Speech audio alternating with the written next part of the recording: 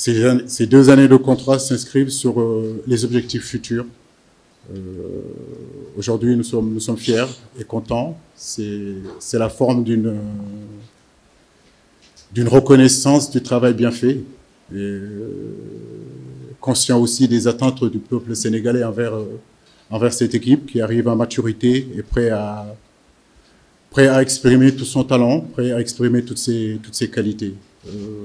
Mon staff et moi travaillons tous les jours et nous continuerons à le faire, Inch'Allah, jusqu'à la fin de notre contrat pour, euh, pour que la, la gagne fasse partie encore plus dans l'ADN de cette, de cette équipe nationale.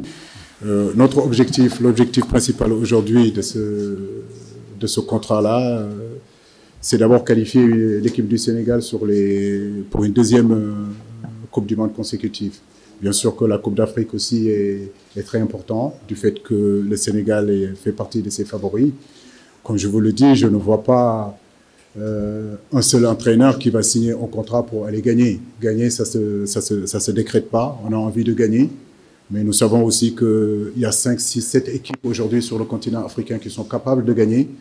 Euh, à nous d'être forts, à nous de, nous de nous préparer, à nous de constituer un groupe fort mentalement, costaud, être capable de traverser les moments difficiles comme on les a, on les a traversés lors de notre dernière Cannes 2019.